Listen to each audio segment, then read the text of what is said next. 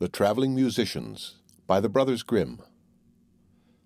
An honest farmer had once an ass that had been a faithful servant to him a great many years, but was now growing old and every day more and more unfit for work.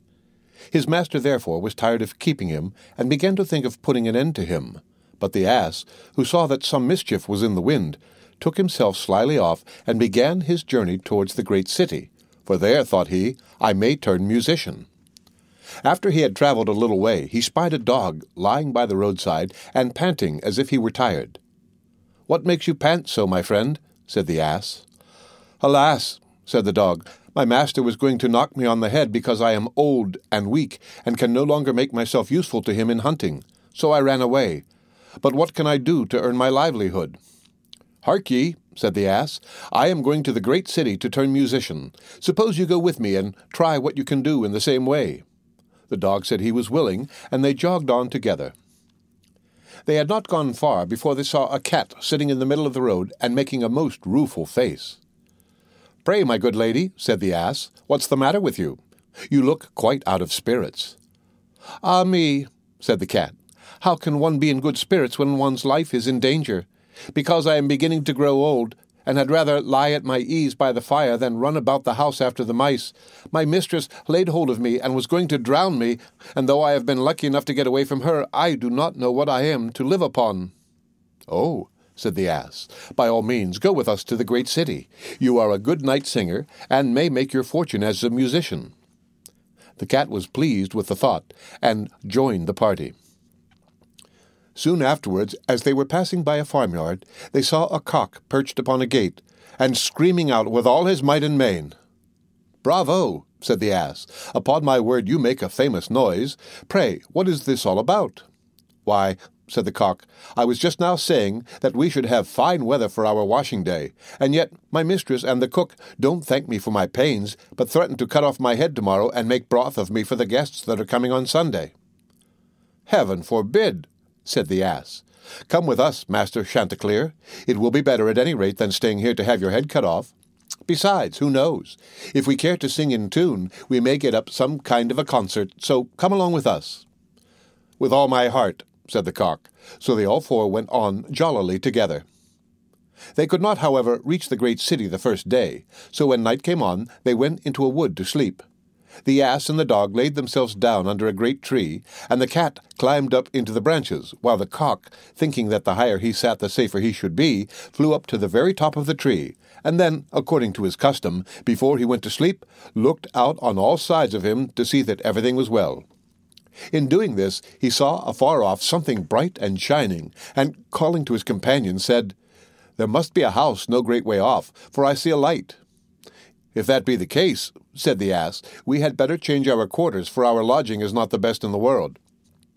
Besides, added the dog, I should not be the worse for a bone or two, or a bit of meat. So they walked off together towards the spot where Chanticleer had seen the light, and as they drew near it became larger and brighter, till at last they came close to a house in which a gang of robbers lived.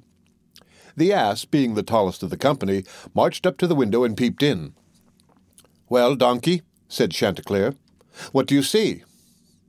What do I see? replied the ass. Why, I see a table spread with all kinds of good things, and robbers sitting round it making merry. That would be a noble lodging for us, said the cock. Yes, said the ass, if we could only get in. So they consulted together how they should contrive to get the robbers out, and at last they hit upon a plan. The ass placed himself upright on his hind legs, with his forefeet resting against the window. The dog got upon his back, the cat scrambled up to the dog's shoulders, and the cock flew up and sat upon the cat's head. When all was ready, a signal was given, and they began their music. The ass brayed, the dog barked, the cat mewed, and the cock screamed. And then they all broke through the window at once, and came tumbling into the room amongst the broken glass with a most hideous clatter. The robbers, who had been not a little frightened by the opening concert, had now no doubt that some frightful hobgoblin had broken in upon them and scampered away as fast as they could. The coast once clear, our travellers soon sat down and dispatched what the robbers had left with as much eagerness as if they had not expected to eat again for a month. As soon as they had satisfied themselves, they put out the lights, and each once more sought out a resting place to his own liking. The donkey laid himself down upon a heap of straw in the yard. The dog stretched himself upon a mat behind the door. The cat rolled herself up on the hearth before the warm ashes, and the cock perched upon a beam on the top of the house, and, as they were all rather tired with their journey, they soon fell asleep.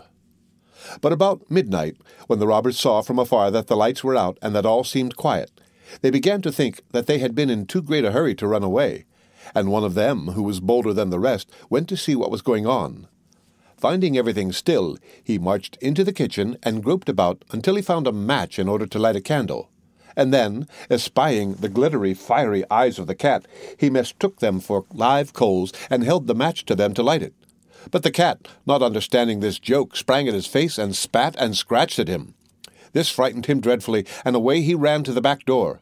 But there the dog jumped up and bit him in the leg, and as he was crossing over the yard the ass kicked him, and the cock, who had been awakened by the noise, crowed with all his might.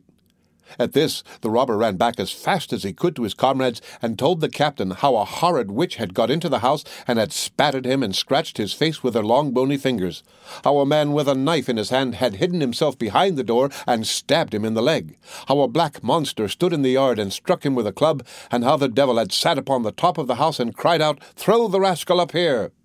After this, the robbers never dared to go back to the house, but the musicians were so pleased with their quarters that they took up their abode there, and there they are, I dare say, at this very day. The End of The Traveling Musicians by the Brothers Grimm. Read by Rick Kishner for Lit2Go on the web at fcit.usf.edu.